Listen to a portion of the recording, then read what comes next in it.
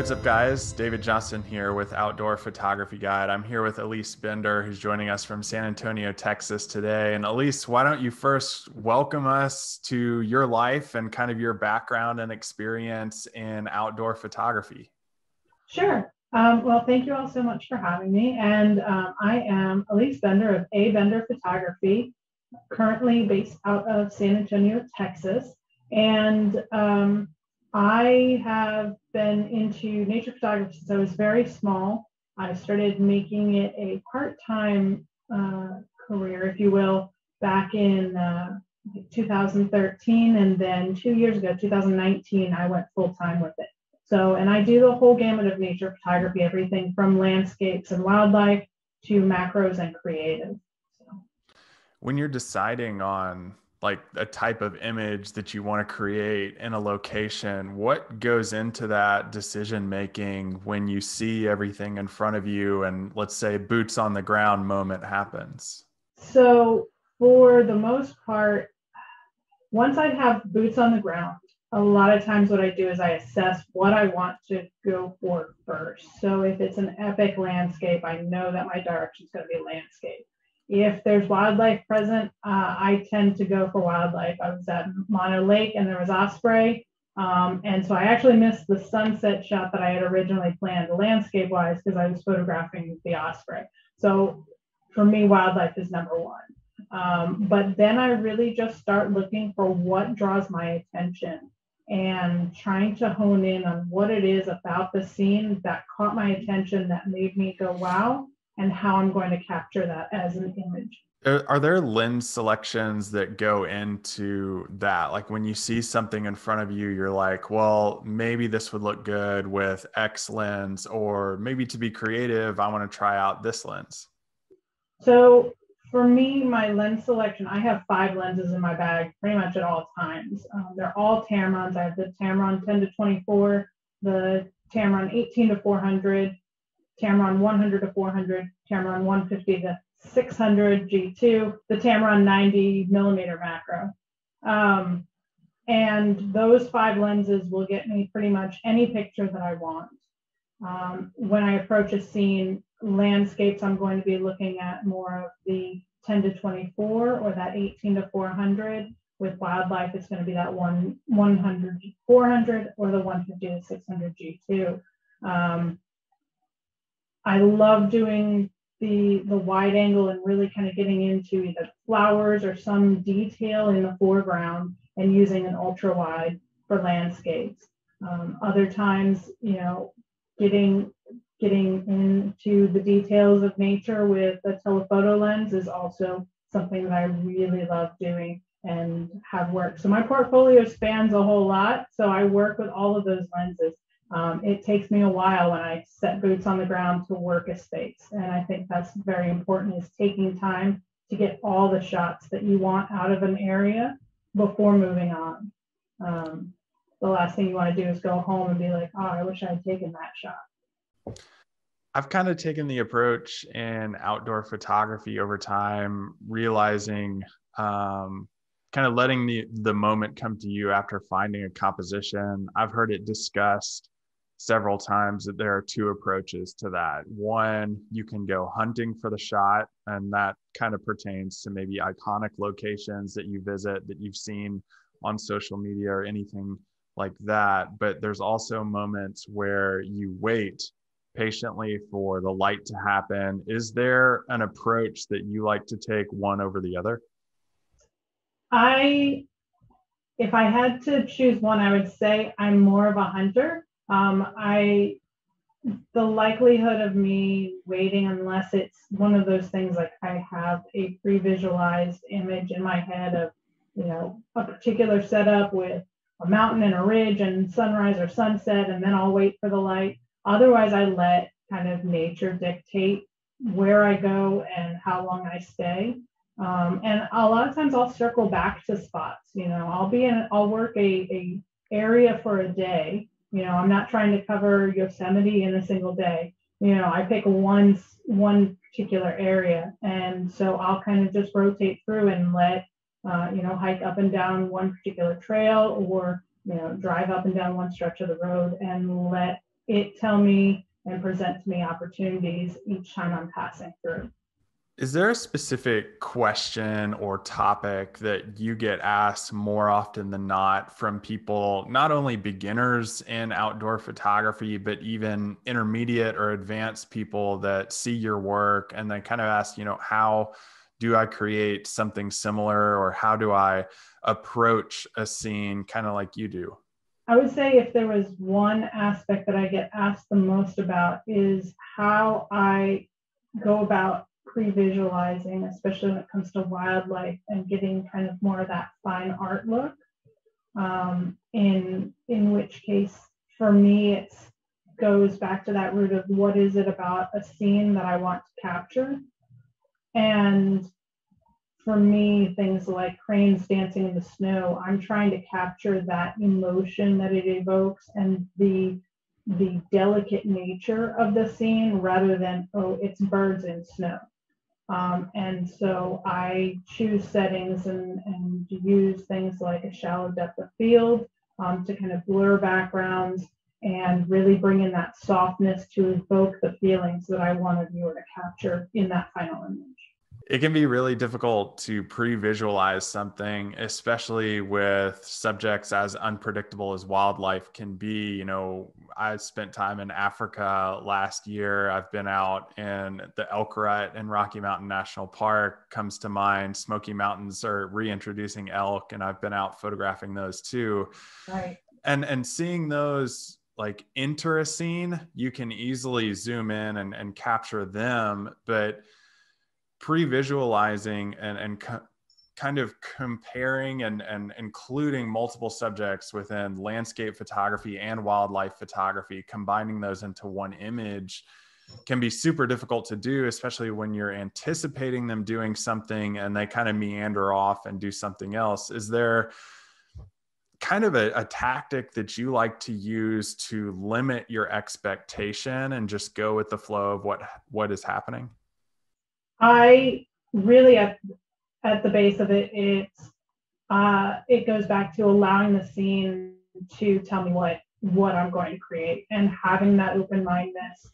Um, that as much as I have a shot list in my head of you know pre-visualized shots that I would love to get, uh, there are some images on there that are still probably years to go. They've been on there for years um, because the animals haven't necessarily cooperated. Um, so I would say going in with an open mind and photographing what what they allow you basically to photograph what behaviors and then being able to tell a story on the go. Basically tell the story of what's happening in front of your lens not the story that you had pre-written. Yeah it can be really difficult to do that especially like I've I've often found when I'm going into a location like that and I have pre-visualized something, it can be so hard to go against the expectation and kind of drop all plans. Um, do you typically find that coming true when you go into like a national park setting? Not just like wildlife photography is something in and of itself but also landscape photography with changing weather patterns. And i mean we you and i both know how weather apps can get things so wrong so many times. Yes yes absolutely. I mean i I spent a week in the Tetons, and I think we had one day that we actually had some clouds. Uh, and we were all hoping, you know, I was hoping for those grand, you know, with clouds over over the mountains for Oxbow Bend at sunrise, or uh, you know, and those iconic shots, if you will. And so it really does take practice and and being patient with yourself to learn how to move on and kind of set those expectations aside.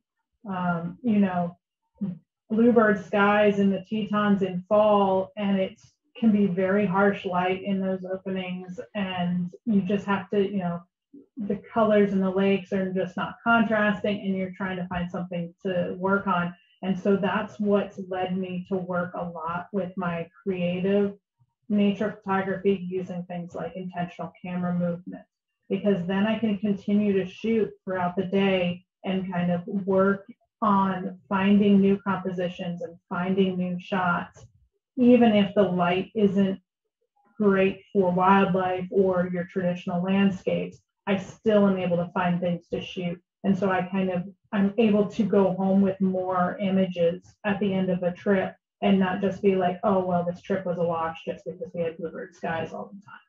So I think by finding those other areas of nature photography and kind of using those to fill in is really quite helpful in keeping that kind of disappointment that might be felt from not getting those those shots that were on your shot list um, at bay. So looking at creative work or looking at macro work because those can be done throughout the day regardless of the weather.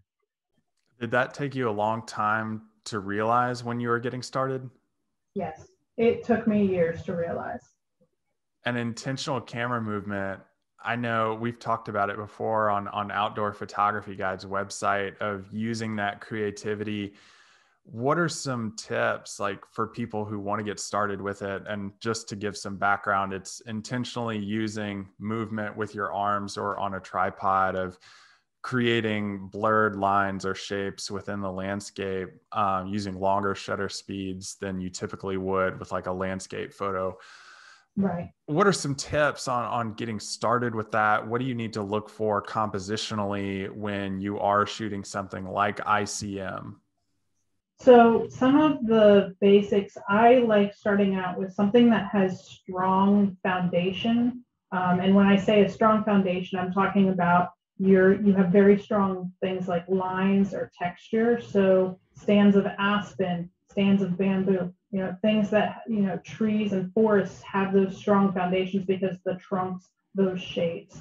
And so um, if you start out with a scene like that, and then the one, probably the number one tip I have for anybody who's looking to get into intentional camera movement is practice the speed at which you move your camera.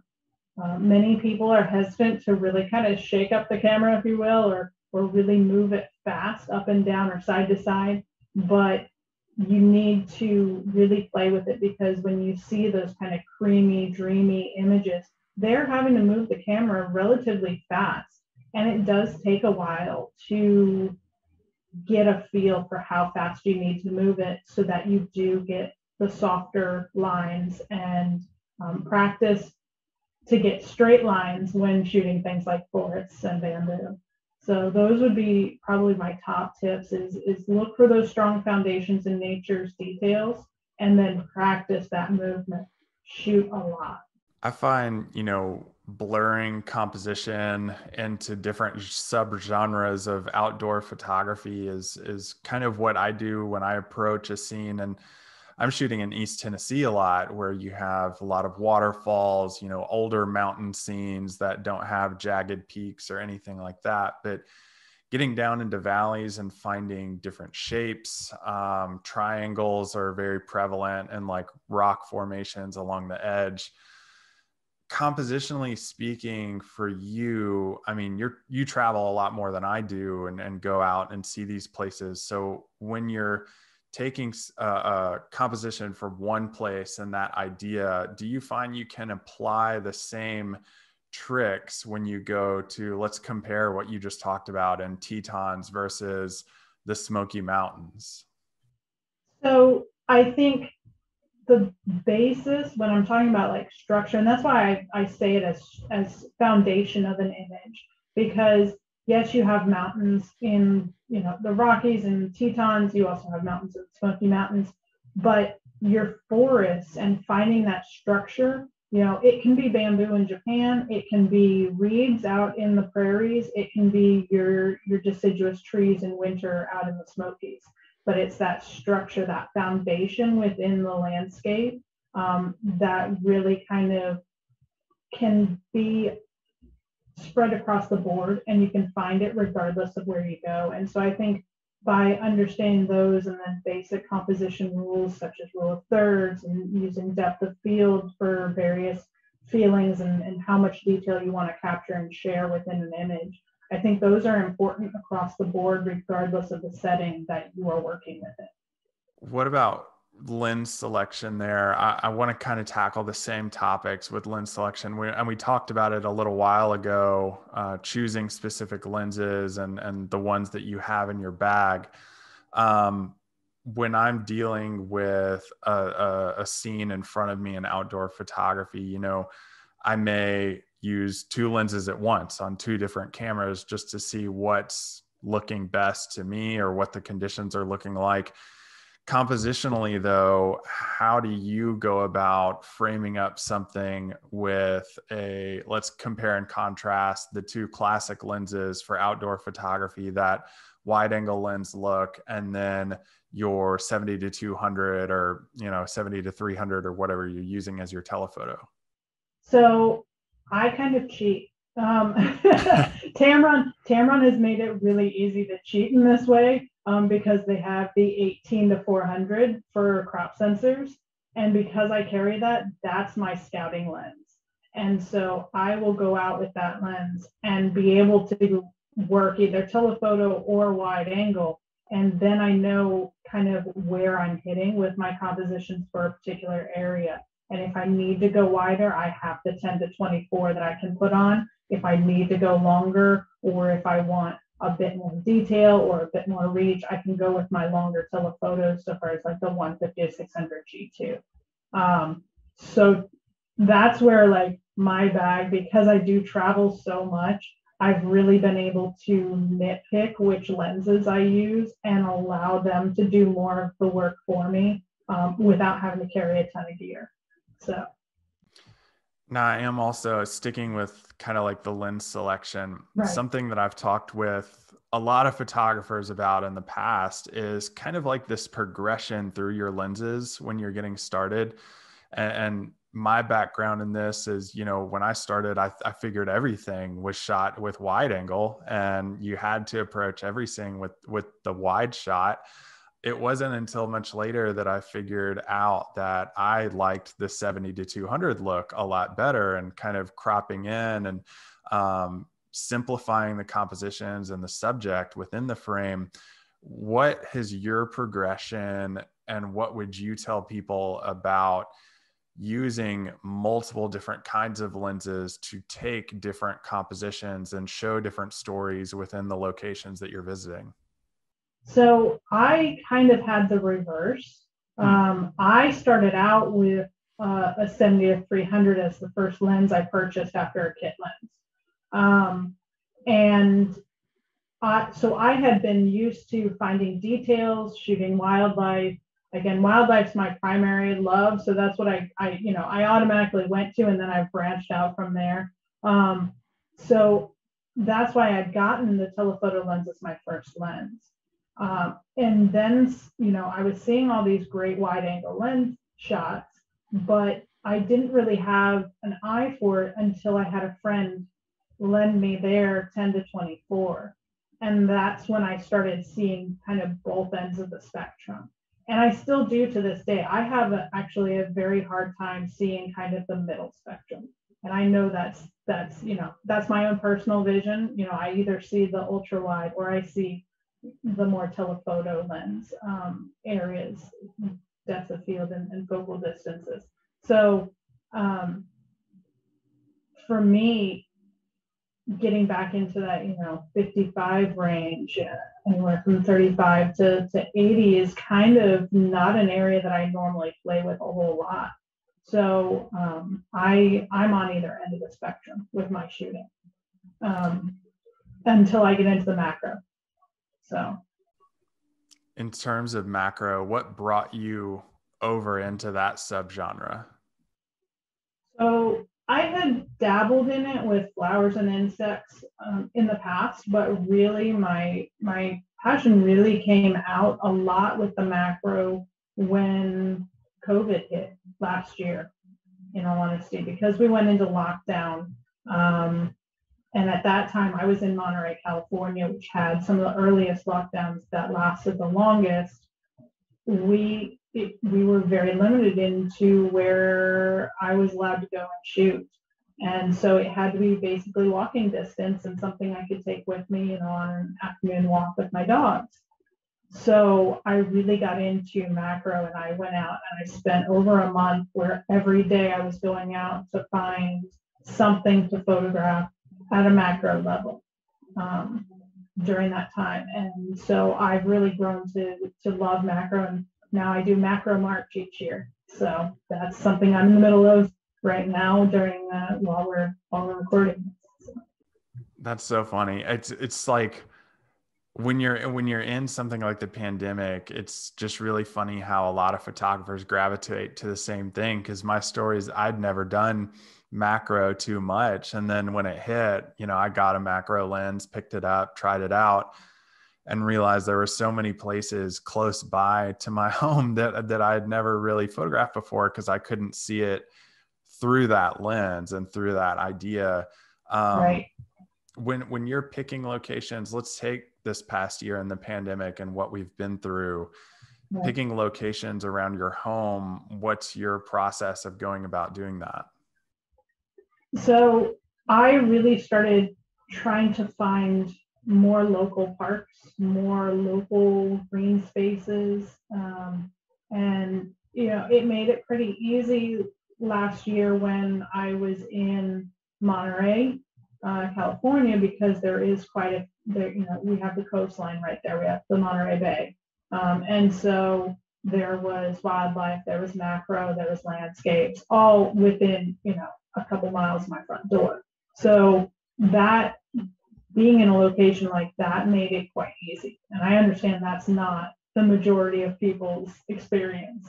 So, um, but, but the big thing for me is finding those local spaces, those local green spaces, and really exploring all that they have to offer, um, whether at a macro level or with creative photography like intentional camera movement. And you know, if you have a local park and it's really busy with people, maybe trying to uh, kind of stretch from the outdoor and crossing over into that people in the outdoors and using some of that that street photography type in a park setting um, and crossing that boundary there and, and, bringing both nature and urban together.